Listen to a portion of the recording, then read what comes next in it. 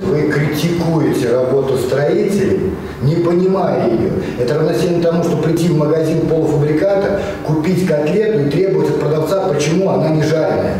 Ну давайте тогда по-другому. А как оплатить мне тогда ту работу, которую вы выполнили? Которую я не понимаю. Как мне оплатить эту работу? вот, я пришла в магазин, я хочу получить товар надлежащего качества. Умеете вы делать или не умеете? Не умеете, уходите с рынка. Ремонт дома 27, корпус 1 на улице Юбилейная был необходим, поэтому он и попал в программу софинансирования ремонта подъездов. Но, казалось бы, радуйтесь. Жители поначалу так и сделали, обрадовались. Прошло почти два месяца с момента начала работы.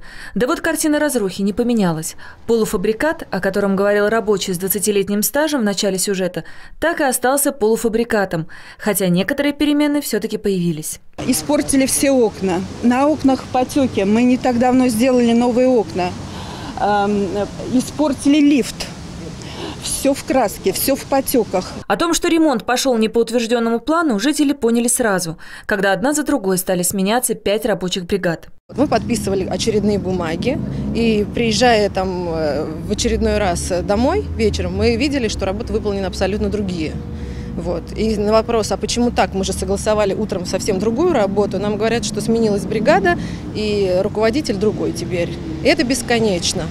Но и тогда соседи не опустили рук, а решили обращаться во все инстанции, начиная с администрации, жилищной комиссии и интернет-компании, потому что провода, которые паутиной висят по всему дому и за которые никто не хочет отвечать, самая большая головная боль жильцов. Крыша дома все время протекает, короткого замыкания и пожара опасаются люди. Картины дополняют щитки, одни вываливаются, а другие уже не откроются. Золотой середины пока нет. Но это ужасно, это просто трата денег государственных, я так понимаю, потому что мы попали в программу губернатор Московской области. Вот считаю, что губернатор просто, просто, просто зря потратил деньги. А с этого места поподробнее. Обращаемся к руководителю управляющей компании, чтобы узнать, неужели все-таки зря губернатор тратит деньги. Работу мы еще вам ни один подъезд в данном э, доме не представляли к приемке. А я не говорю Все, об этом. А я говорю то о есть том, то, что... мы еще вам не показываем выполненные работы. То, что вы дополнительно э, проявляете инициативу и контролируете ход производства работ, скрытые работы, это, конечно, все хорошо. Но мы еще не готовы вам э, показать выполненные работы. На следующий день мы вновь приехали на съемку подъездов этого дома, но уже с Дмитрием Герменчуком. За время нашего отсутствия здесь появились признаки возобновляющейся работы. Даже свежезабетонированный пандус появился. А почему же почти два месяца простоя?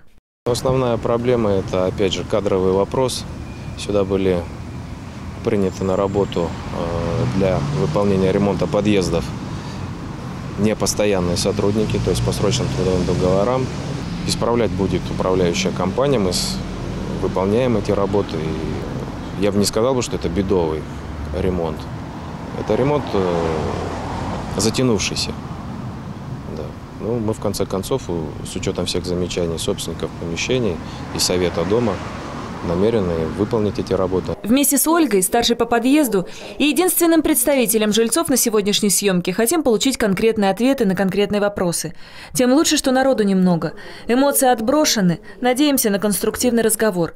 Первое и самое опасное – провода. Есть требования о том, чтобы привести в порядок слаботочные провода, которые по стенам подъезда в ходе этого ремонта. Мы этот вопрос решаем. Значит, буквально на этой неделе в органе местного самоуправления э, задавали этот вопрос, и на следующую неделю планируется встреча на уровне начальника управления ЖКХ с э, основными интернет-компаниями. Если вопрос с проводами уже перешел на стадию решения, то вот ситуация с внешним видом стен почти безвыходная. Там была совершенно другая краска. Поэтому я понимаю, что, может быть, где-то эта текстура убрала неровности стен, но если мы посмотрим, она создала другие проблемы, то есть совсем некрасивые стены. Претензии жильцов мы постоянно слушаем по поводу этого. Тут уж, как говорится, дело вкуса. В истории были и более именитые художники, чьи полотна не признавались обществом. Что уж говорить о простых жильцах, которые хотят видеть в своем подъезде чистую классику. Да вот только их мнение в трех подъездах почему-то не учли. Как не учли и еще один фактор. Человек не всю жизнь остается молодым и здоровым. Держись, держись. Держись, я дальше уже не могу.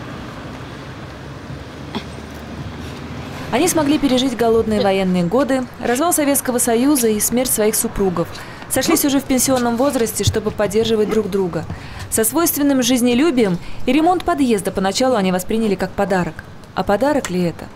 Губернаторская программа по ремонту подъездов, она подразумевает финансирование как и из бюджетов Московской области, из, бюджет, из городского бюджета, и в том числе и это деньги жителей. Те, которые имеются на счете дома, и те, которые дополнительно собираются. Вот вопрос, который всех волнует. В платежке есть э, строка за ремонт, то, что, мы, Да. то, что оплачивают жители. Эти деньги используются для ремонта? Да, И еще плюс сколько процентов? а, не менее 5%. Сколько подъездов уже выполнено? 45 подъездов выполнено, и 36 находятся в работе. Но эта цифра, цифра она как бы плавающая. Количество выполненных прибавляется, и количество в работе тоже, в общем-то, оно растет. Если жильцы не принимают ремонт, что происходит затем? Устраняются замечания для того, чтобы добиться все-таки сдачи работ комиссии. Какая-то компенсация или как это все переделывается? За чей счет это все будет переделываться? Если будет переделываться. А, ну, в любом случае, э, жителям больше, чем согласованная смета, предъявляться мы не имеем права. Компенсироваться это будет либо за счет собственных сил и средств, либо за счет виновной стороны. И в среднем на подъезд какая смета? Девятиэтажный дом по губернаторской программе, он 340 тысяч рублей стоит. Но по факту, когда мы входим в подъезды, то добавляются дополнительные работы, которые не предусмотрены техническим заданием, но по просьбе и требованиям жителей и совета домов мы их вынуждены, э, я считаю правильно, что мы их выполняем. А, Там уже смета приближается 450-500 тысяч рублей, это без замены окон. И тогда эти деньги как распределяются на жильцов? Нет. Значит, тут, э, если собственники помещения, если на счете дома имеются этот остаток денежных средств, то э, используется именно этот остаток. А если этих денег э, нет, то органы местного самоуправления финансируют этот разрыв. И как жители могут посмотреть, какие деньги есть на их счету? Значит, жители, те, которые плани... э, желают посмотреть э, наличие средств, они могут посмотреть его на нашем сайте. Это общедоступная информация. Плюс она размещается на стендах при входе в подъезде. Самый главный вопрос задают отчаявшиеся жители. А, когда мы сможем а, посмотреть своим нашим жильцам нашего дома, да, а, с красивыми своими глазами, довольными и сказать, что подъезд отремонтирован, и мы очень рады, что приняли участие в данной программе.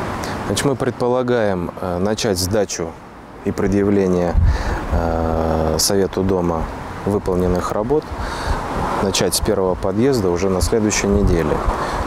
С учетом поступивших от вас замечаний, э, нас сегодня еще пока держат тамбурные двери, которые к нам только на следующей неделе привезут. То есть установив их и завершив работы по освещению и по установке поручней, мы готовы будем вам предъявлять. Еще раз повторюсь, предполагаем на следующей неделе. Будем ждать. Дарья Линская, Денис Корнев. Информационная программа «День».